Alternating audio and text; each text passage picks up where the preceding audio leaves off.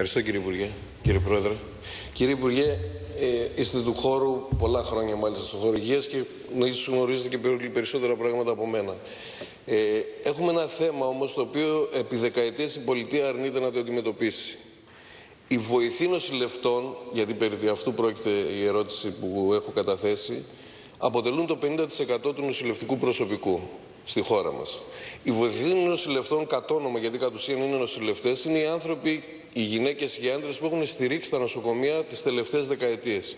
Και μάλιστα με πολύ κόπο, με πολύ λίγα λεφτά και με πολύ σκληρές συνθήκες. Είναι οι άνθρωποι όμως που καλούνται να είναι νοσηλευτές στην πραγματικότητα, αλλά βοηθοί νοσηλευτών στα χαρτιά. Και αυτό δημιουργεί διάφορα προβλήματα, κυρίως ποινικά, γιατί όταν ουσιαστικά καταστρατηγείς τον νόμο, γιατί δεν γίνεται αλλιώς, έχεις να αντιμετωπίσεις πολλά ζητήματα όταν κάποια πράγματα δεν πάνε καλά ή πάνε στραβά. Έχουμε λοιπόν ένα προεδρικό διάταγμα το 2001, το 210, που στους βοηθές νοσηλευτών δεν δίνει το δικαίωμα καν ενδομικής, ε, ε, ε, ενδομικής ένεσης. Το βασικότερο δηλαδή επαγγελματικό τους δικαίωμα στερείται από, αυτήν, από αυτό το προεδρικό διάταγμα. Την ίδια στιγμή όμως έχουμε διοικήσεις νοσοκομείων που τους αναθέτουν ε, την, την ευθύνη των κλινικών, ιδίως στις απογευματινές και νυχτερινές βάρδιες. Έχουμε δηλαδή την, την, την ίδια στιγμή που τους θεωρούμε βοηθές, βοηθές νοσηλευτών να είναι και υπεύθυνοι κλινικών. Ε, και είμαστε σε μια τραγική αντίφαση με την έννοια ότι δεν μπορεί η πολιτεία να τους χρησιμοποιεί, γιατί τους έχει ανάγκη, και από την άλλη στην πλευρά να μην τους αναγνωρίζει αυτό που οι ίδιοι πράττουν όλα αυτά τα χρόνια. Θα πρέπει να συζητήσουμε σοβαρά και με χρονικό ορίζοντα μάλιστα πώς αυτή η αδικία, αυτή να πω, η υποτιμητική αντιμετώπιση από πλευράς πολιτείας προς τους νοσηλευτές στην ουσία, βοηθούς νοσηλευτές και νοσηλεύτριες θα λυθεί και ποιες είναι οι δικές σας, ε, ε, ποιες είναι οι δικές σας ε, χρονικές, οι δικές χρονικοί ορίζοντες ώστε να διευθετήσουμε μια ιστορία που κρατάει εδώ και τουλάχιστον 40 με 50 χρόνια; Έχει το λόγο. Είναι από εκεί που τελειώσατε κύριε Καραγιανίδη γιατί είναι πραγματικά μια ιστορία η οποία κρατάει 40 χρόνια. Την έχουμε βιώσει όλοι μας όσοι δουλεύουμε στον χώρο της υγείας και στο δημόσιο αλλά και στον ιδιωτικό τομέα της υγείας. Πραγματικά έχετε δίκιο.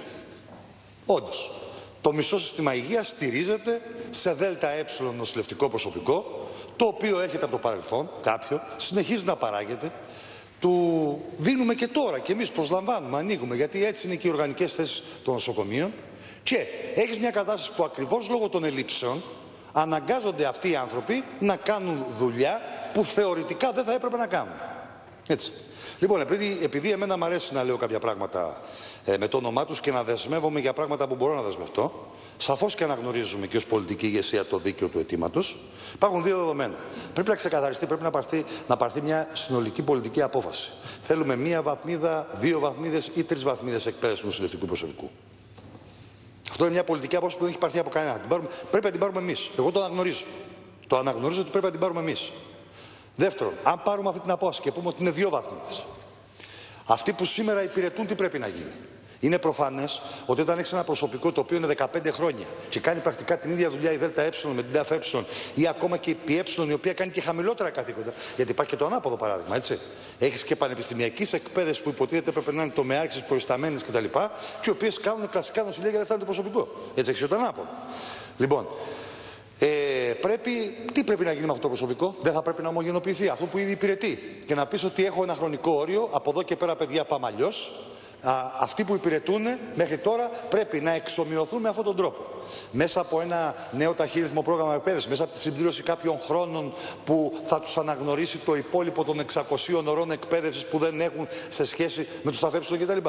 Αυτό είναι πολιτική απόφαση που πρέπει να ληφθεί και την οποία βέβαια δεν μπορεί να την πάρει γενικώ ένας υπουργός μοναχός του. Πρέπει να υπάρξει και μια συγκεκριμένη εισήγηση, έτσι, γιατί αν δεν έχεις μια κοινωνική συμφωνία από τον κλάδο που τον αφορά, δεν περπατάει τίποτα. Τα σχέδια μένουν επί χάρτη.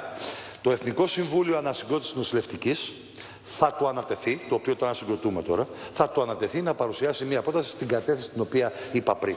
Διότι πραγματικά πρέπει και το καθηκοντολόγια να ξεχωριστούν, πρέπει αυτοί οι άνθρωποι να ομογενοποιηθούν από τη στιγμή που κάνουν την ίδια δουλειά, να έχουν και την ίδια αμοιβή. Υπάρχει το πρόβλημα της κατάστασης που βρίσκεται η χώρα μας, γιατί αυτό σημαίνει και μια ε, τέτοια μεταβολή, αλλά αυτό μπορεί να γίνει με κάποιο χρονικό ορίζοντα. Έτσι.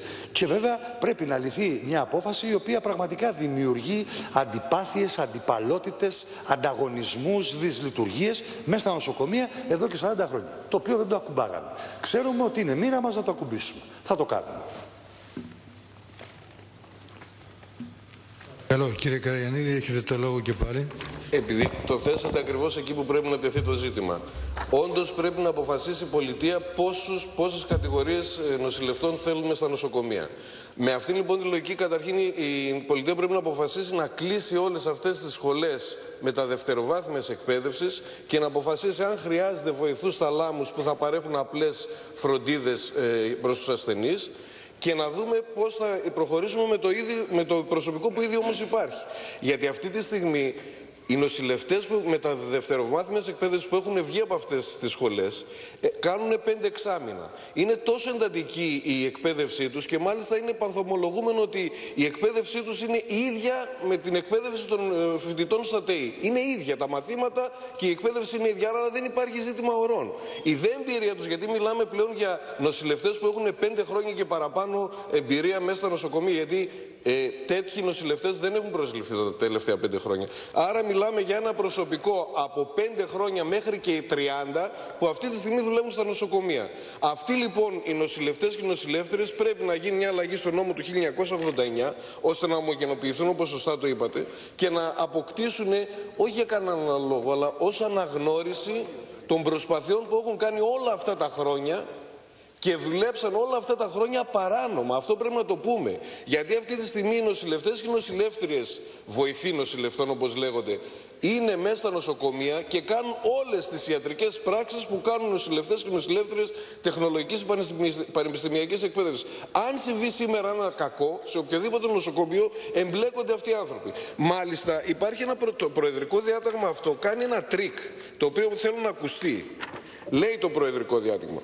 Επίσης, οποιαδήποτε νοσηλευτική πράξη που ανατίθεται από τον υπεύθυνο νοσηλευτή τριτοβάθμιας εκπαίδευσης, υπό την προϋπόθεση ότι την αποκλειστική ευθύνη φέρει ο νοσηλευτής, ο οποίος και κρίνει αν ο διπλωματούχος ειδικότητας βοηθών νοσηλευτών, δίνεται στη συγκεκριμένη περίπτωση να δύναται να εκτελέσει με ασφάλεια για την υγεία του αρρώστου. Τι κάνει εδώ, Υποτίθεται ότι υπάρχει ένας νοσηλευτής τριτοβάθμιας εκπαίδευσης που λέει σε έναν βοηθό νοσηλευτή κάνει αυτό το πράγμα. Πώς το λέει, προφορικά. Αν συμβεί κάτι κακό, ποιος είναι καλυμμένος και ποιος όχι, σίγουρα όχι ο βοηθός νοσηλευτή.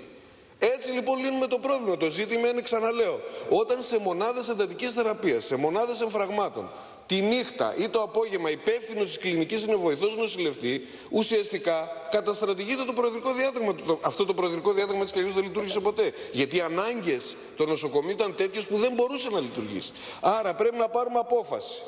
Ένα, να αλλάξει ο νόμος του 89. Δεύτερον, να ομογενοποιηθεί αυτή η ιστορία. Κατανοώ την, την αντιπαλότητα που υπάρχει μέσα και στην Ποεδίν και μέσα και στα νοσοκομεία μεταξύ νοσηλευτών και νοσηλευτών, αλλά δεν μπορεί να λειτουργήσει άλλο. Και αν η Ποεδίν ή οποιοδήποτε άλλο συλλογικός τους φορέας δεν μπορεί να καταλήξει κάπου, με αυτήν την δικαιολογία εμείς δεν μπορούμε να επεκτείνουμε και άλλο αυτή την αδικία η οποία όλα αυτά τα χρόνια συνίσταται στο να υπάρχουν τουλάχιστον δύο, για να μην πω τρεις κατηγορίες νοσηλευτών που κάνουν την ίδια δουλειά. Άλλοι πληρώνονται περισσότερο και έχουν άλλα καθηκοντολόγια και άλλες υποχρεώσεις, και άλλοι πληρώνονται λιγότερο και έχουν άλλα καθηκοντολόγια και άλλες υποχρεώσεις. Μέσα λοιπόν σε αυτή την προσπάθεια αυτής της κυβέρνησης πρέπει οπωσδήποτε να ολοκληρωθεί αυτή η προσπάθεια. Ευχαριστώ κύριε Κανενίδη, παρακαλώ. Δεν έχω να προσθέσω κάτι, συμφωνώ.